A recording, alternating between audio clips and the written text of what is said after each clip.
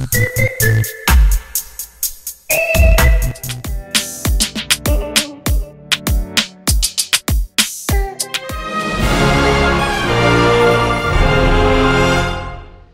guys, this is Chef Blake. Today we are making curry chicken, guys. This is a vlog tutorial cooking, so it's not going to be a short video.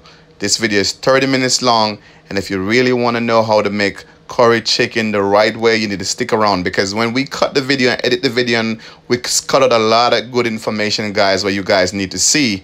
So if you really want to know how to make curry chicken, stick around and watch the complete video and thumbs up, share, comment, and subscribe to the channel Cure guys by commenting on the video as well. Welcome back to Blake WR TV Kitchen everybody. Good morning, good morning.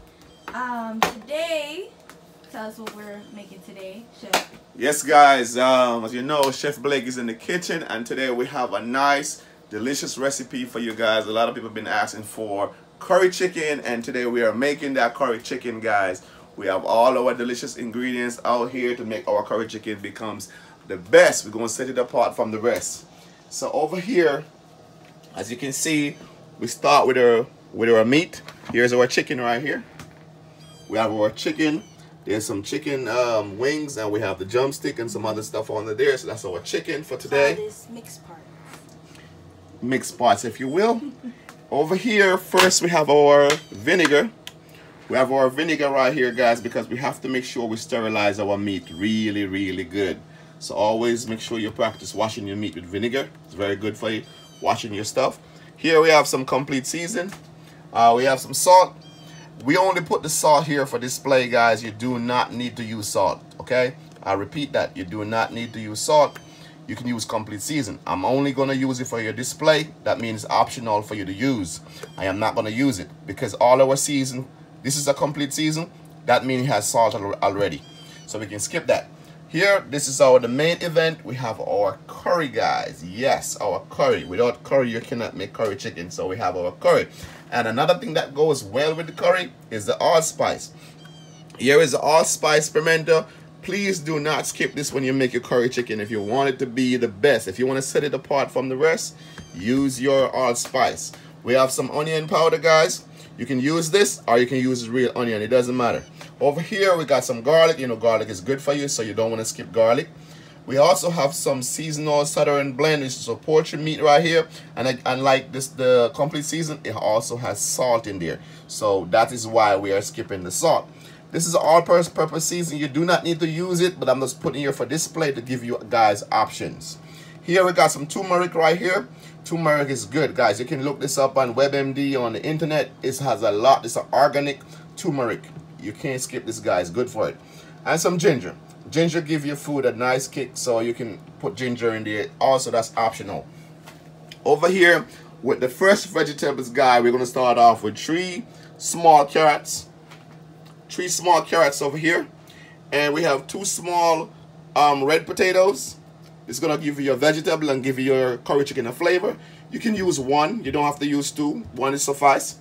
Over here, yes, we have our Scotch bonnet pepper. Good old Jamaican Scotch bonnet pepper. It's authentic to curry chicken. Here we have two stalks of scallion. And we have a jalapeno. Jalapeno is optional. You don't have to use it. It's optional. But I like to use it. So here I got a red onion like always. You need an onion. And you have four cloves of fresh garlics right here. And here, this is this is bell pepper. Okay, it's not really hot. This is bell pepper right here. There's different flavors. You got the yellow and the red and the green. It's just, just give it that coloration, that culinary look that we want to see our food. And that is it for our season. So without no further ado, let's jump right into it. Hey guys, so the first thing you want to do, you want to go through and clean your chicken. You see this little yellow part at the back right here? You want to get this yellow thing off your chicken. You know, this is like the chicken skin. A lot of people cook their chicken with this yellow part. They want to get rid of that. So go through and wash your chicken real good and use some vinegar to rinse it off. Okay guys, my chicken is washed clean with vinegar. I put some vinegar on there. So they are washed clean and nice. So now it's time for me to cut them up. I'm going to put them up here on the cutting board. I'm going to cut them into smaller bit sizes. This knife is sharp. You go right through it And guys, I know it's Corona time right now, and it's best to be eating at home. So it's good to get all these recipes I'm giving you.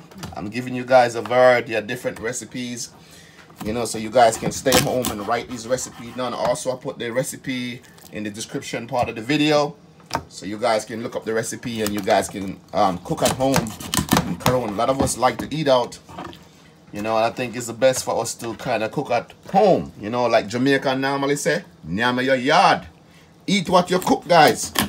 You know, because sometimes when you when you go out and eat, you don't know what they put in your food and how they cook your food. You know what I mean? If they add too much salt in there or they put stuff in there you don't like.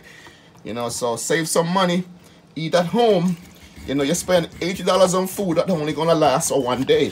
When you can actually go and buy something that gonna last um, for a whole week for the same amount of money. Hey guys, when you cut up your chicken, just make a mark on it like this the reason why you open the meat so the season can get into it. When you cook um, curry chicken and you have the skin over it like that, the season is on top and it wash right off in the gravy. So make a cut in your meat. Allow the season to get inside of the meat. That give you a nicer flavor. Okay, it's looking good. What's next? Okay, so the next thing we're gonna do, we're gonna put a little bit of complete seasoning, right, guys? So you already see the season I'm using. Mm -hmm. You don't put a, you don't go heavy with the season. That's very light, like like a little pinch of season. Don't put too much of anything on it. Guys, go ahead and put a little bit of ginger on there. Not too much, just a little pinch of ginger. Just like that, a little pinch of ginger. Okay, I see you using some turmeric now. Let us know what are the health benefits of turmeric. Okay, so turmeric, you know, turmeric is, is used in the Middle East and in Asia. Turmeric is good. It has a lot of benefit. It supports your heart, uh, cardiovascular health, you reduce your joint pain, aches, and discomfort.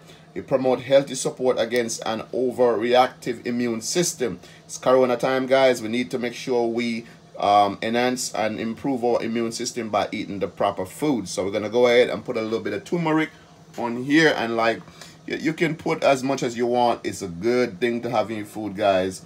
So you can look up the turmeric health benefit it's good. Okay guys we have poultry season southern style. And like before just a little bit. We're not doing any measuring today. We're just gonna do a little pinch over it. Just like that. Put some garlic powder in there just a little bit too. So just like that. Just go over it lightly. Here we go. Onion powders. We'll put a little bit in it. And guys trust me some of these seasons that i'm using guys they are optional. You can use them uh, to your advantage. You just use a little bit. It also pack a punch to your meat. Okay, guys. Here we are, some curry powder right here. This is the main event. It's going to give your curry chicken a punch. Without no curry powder, you wouldn't be having curry chicken. So we're going to go ahead and we're going to add in this. This is the only thing I'm going to give you the measurement for, guys. You need at least about um, half a tablespoonful of curry powder in here. And you're going to use some more when you do the the oil. I notice you use pimento a lot in all your cooking. Why is that? Okay, reason why I use pimento, because pimento, out of all the season, all the spices in Jamaica, this is the number one spice for Jamaican cooking. If you're not using allspice, you're pretty much not cooking Jamaican food. This is the number one season in Jamaica, allspice. This go way back in Jamaica, many, many hundreds of years. Jamaica has been using this. This is one of the most important seasons. And it does give your food the best kick. So that is why we use it. Guys, it's time for us to go ahead and pound the pimento to get it grounded. So we're going to take a few pimento beans. At least about, uh, I would say about 15 to 20 pimento beans. And let's put them in here. You can judge it for yourself. And then you're going to go ahead and pound them. Okay, guys, our pimento is grinded, grounded and we're gonna go ahead and put our pimento you see look at it guys grounded. Most people most chef you see on YouTube they are not grounding their pimento they just do it old-fashioned just throw the bean in, in there. And guys if all your seasoning is grounded your curry powder is grounded your black pepper everything is grounded your your um, garlic powder why not just ground your pimento to get the best flavor out of it Now that everything is in here, let's go ahead and give it a stir to get the curry powder. We're gonna put a little bit more curry powder in on it now. A while ago we used like a half a tablespoonful. We're gonna use some more later. I'm gonna give you that measurement as well because you wanna use enough curry to get your meat looking nice. And well marinated. Guys, we're gonna go ahead and put a little bit more curry powder in here. Like I said, you wanna get this thing nice and curry. So we're putting another half a teaspoonful in here again to give it a nice flavor. Okay guys, this is my scotch bonnet pepper. We're gonna go ahead and put our scotch bonnet pepper in here guys. And remember guys, it's Corona time right now, quarantine, eat at your yard. Like Jamaican would I say, near my your yard. Save some money. Stop the eat out guys. Eat what you cook. Cook what you eat. Okay guys, I'm go ahead and cut up a garlic. One of gloves of garlics on it. With a little bit more garlic kick. We have our fresh vegetable. Remember our curry chicken has already been seasoned up and we already put it aside to sit for two hours. Remember, when you're cooking curry chicken, guy, please always make your chicken sit for at least two hours before you do anything with your chicken. Let it sit and marinate for two hours while you get your vegetables and everything washed. Put some vinegars on your vegetable, just like this. Pour some vinegars in there. And you're gonna wash these vegetables nice and clean and then you're gonna cut them up. That's what you're gonna use. Guys, we're gonna go through and cut up our our bell pepper. And we're getting these prepped for our curry chicken. And like I said before, our chicken need to sit to marinating for at least two hours before you cook it. So don't season up your chicken, guys, with your curry and all the delicious stuff that you put on there to make it taste good. I'm telling you, that, that seasoned pot smells so good already. Always make it sit for like two hours before you start cooking. It's best to do it overnight so you can sit until in the morning that is the best way to do it. Guys, this is your potato. For your potato, guys, you can cut it anyhow you want it. There's no special way of cutting the potato. For your meat, you can cut it anyhow you want it. All up to you guys. So you be the judge of how you want to cut it. But yeah, this is how I do mine. Take a look at that. But like I said, there's no special way of cutting your potato. Just want them to look presentable when you cut them.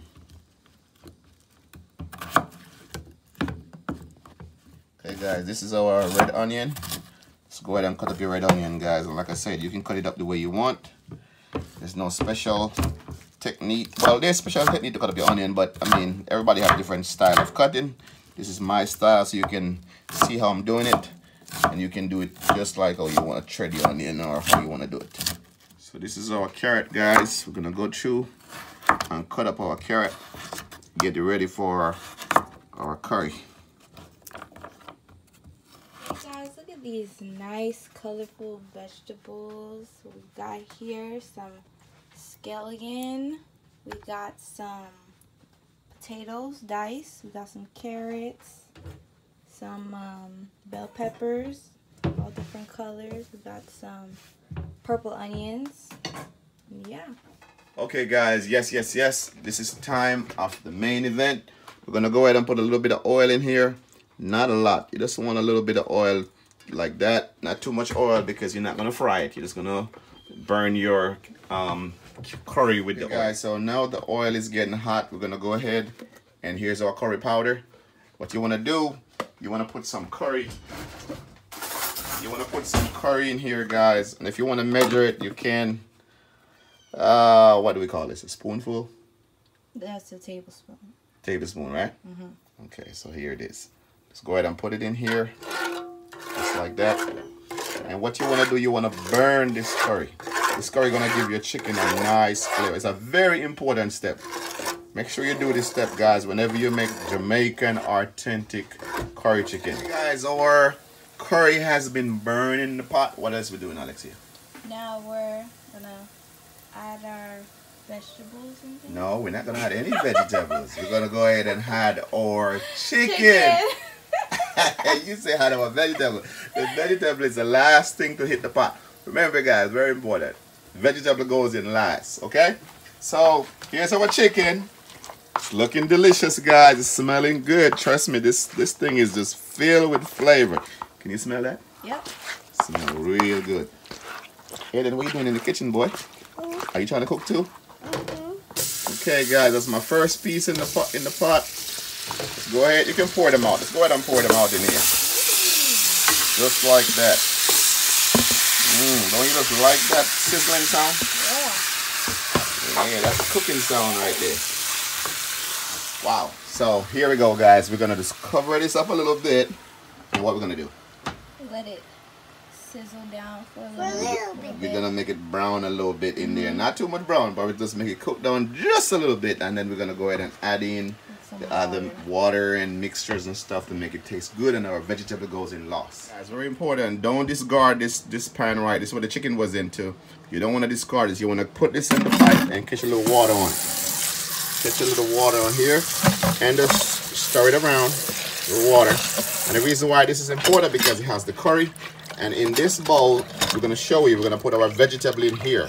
With this water, have all the spice and herbs in here. Let's check out our curry chicken. Okay guys, we're gonna check the pot. This is the first time we're gonna open it. So we're gonna go ahead and give it a good stir. Mmm, smell that? Yeah. That's a delicious smell. So what it does guys, when you cover it up to make it kind of spring a little water. It's kind of like a little bit of water from the chicken mm -hmm. into it. You don't want to make it sit too long. You don't want to burn it. But you want to get that curry that you burn in the bottom of the pot. Get it all mixed in. Just like that. That is a delicious pot of curry chicken. Very authentic cooking Jamaican chicken. Hey guys, listen. If you guys are seeing anybody making curry chicken and they're not doing it the way I'm doing it, it's because they're not doing it right. This is the authentic way of cooking Jamaican curry chicken. We're going to go ahead and add some water to it. So this is the water that we saved earlier with the curry and everything.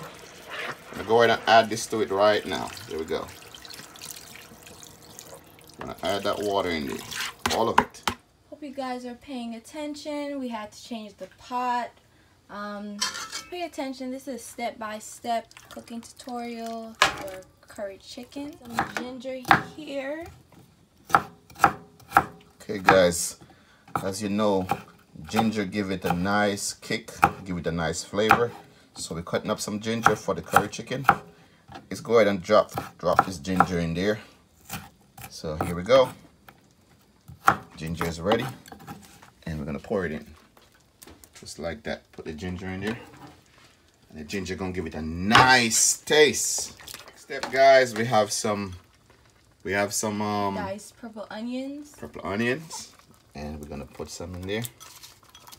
Pour the onion in. And there we go. Our garlic cloves. Add in our garlic cloves now. Let's give it a stir.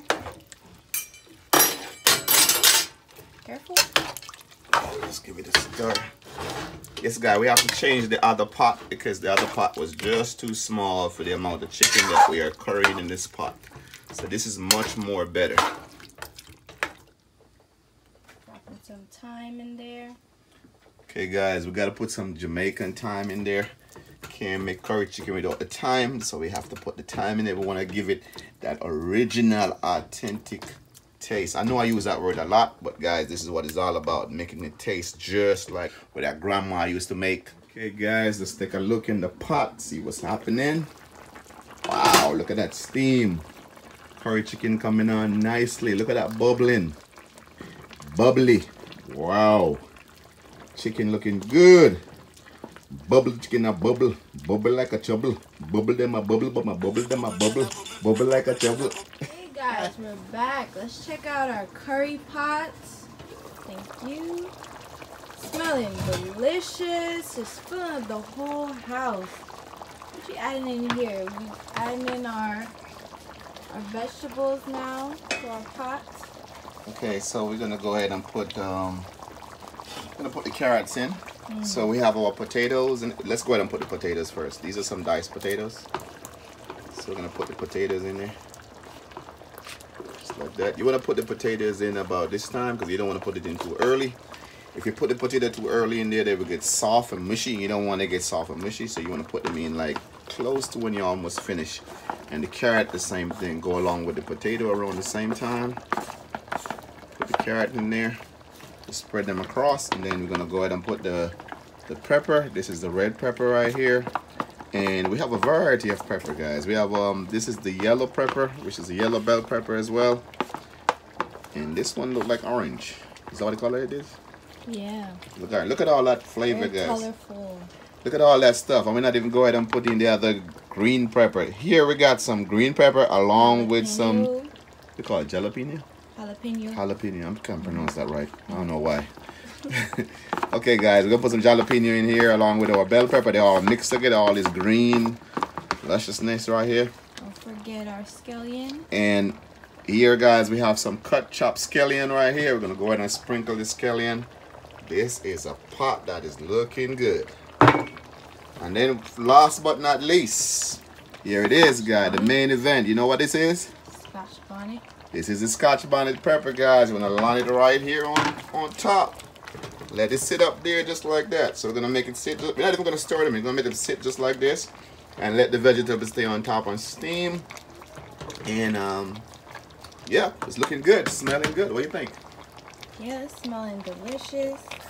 You know, we've got some thyme over here, growing over here. Why don't you put it in the um in the pot? Okay, so we did we did put some. Okay, guys. So the reason why we haven't used this thyme, this is a Spanish thyme right here, guys. It's very nice. It has a good flavor to it. Just squeeze it in your hand. You can smell it. It's very nice. It's just similar to the Jamaican thyme. It's a Spanish thyme. So we have it right here on the window. It's clean. It's delicious. We just wash it and cut it. You put it whatever you're making. But we already used the thyme that we used before, the regular thyme. So we're not gonna go ahead and use that one for today. But for some other day, you may see us use it. Wow, it's looking real good. But what are we eating with our curry chicken? Okay, for the curry chicken, guys, you know, um, commonly in Jamaica, when you make curry chicken, you can cook some white rice or some rice and peas with coconut milk, whatever you like. It's, the option is, is limitless. It's whatever you want. But for today, we're going to make some cornmeal dumpling. Yes, guys, some uh, good cornmeal dumpling we're going to make to go along with a curry chicken. But like I said before, you can choose whatever you want to serve with your curry chicken. What do you think about the cornmeal dumpling? I think I can't wait to try it. Yeah, definitely it's gonna be good. Okay, guys, to make our cornmeal dumpling, first we want to add in some flour. And how much flour we using? How much flour are we using? Well, you already dumped out some flour here. So now you're adding in a little extra two You know, cups. you know in Jamaica, Approximately maybe I'd two say- pounds, mm, two pounds of flour. Guess so. Yeah, I think that's about two pounds. Guys, I know in Jamaica, if you used to Jamaican cooking, you will know. Jamaican rarely measure anything. They're just good at measuring. Guys, this is some cornmeal. It's about half a cup of cornmeal. Just gonna put it in here. And it's gonna be cornmeal dumpling. Jamaican thing. Okay. Adding in about a tablespoon of salt. Uh, should be good enough. A little bit more. This should be good. to sprinkle it all over. Mhm. Don't let it sit one place. And um, we're gonna go ahead and mix it. 16 ounces. We may not need all of it, but when you're making dumpling, you just have to just judge it and mix as you go. But you don't want to put too much water in it. You don't You put don't put like half a cup. You don't wanna Put half a cup of water first, and then you're gonna start to do mixing. So just go ahead, guys, and give it a stir. And this is how you make Jamaican cornmeal dumpling. Just stir it up real nicely, and add water as needed. Remember, add water as needed. Don't put too much water at any one given time. Just go step by step. Add water. You want to get it into a hard um, dough. So just keep doing this until you get that dough the way you want it. You're gonna see how we get it together. guys, remember this is a how to make Jamaican cornmeal dumpling tutorial. So we're doing this step by step and we want you guys to follow us. We put um a little bit more than a cup of water already and this is what it looks like. We just keep but you keep on molding it into a ball. And you don't want it too wet. You want to keep it dry and add water as needed. And you just keep molding it. We keep we do it we we we are doing it this way, but eventually you gotta go in with your hand to finish it. This ain't gonna finish it, guys. This will help you to get it into a ball, but you have to finish it with your hands. Okay, guys. When you get to this part, this is the part that you have to go in with your hands. We get it into a nice little ball right here, but you gotta go finish it off with your hands. So make sure you wash your hands very clean or use a gloves. I already washed my hands. I've been washing it continuously. I just washed a while ago, so my hands is perfectly clean. So I'm gonna go in and do it now. You just roll it into a ball. Okay guys, this is the dough, perfectly made. And now it's ready to go ahead and cook this dumpling right here. We're gonna make some dumpling and we'll show you how we make the dumpling. Got some dumpling prepared over here, but we'd like to see how to make, make dumpling, guys. You're gonna break it off like oh, you see. I break it off right here, and then you take a piece like this, about this size, and then you just roll it in your hand. You try to make a ball with it, just like this. Really odd man thing, you know, Jamaican style. All right, check this out. You just roll it around in your hand like this, whip it around in the ball, and then you just hold the middle and press down on the middle. And rotate it as you do that. Yeah, you just press down on the middle, and this is like a big one too, so yeah, you can almost call it a Johnny cake. Yeah, all you gotta do, take your time and just roll it around in the middle. Just like this. Squeeze it, not too far, not too hard. Just roll it around until you get it perfectly the way you want it. Okay guys, this is our our cornmeal dumpling pot to go along with our curry chicken and we're gonna put about this amount of salt. How much is it? Tablespoon. Tablespoonful. So just like this, guys, in here, and just stir it. Stir it around. Jamaican planting.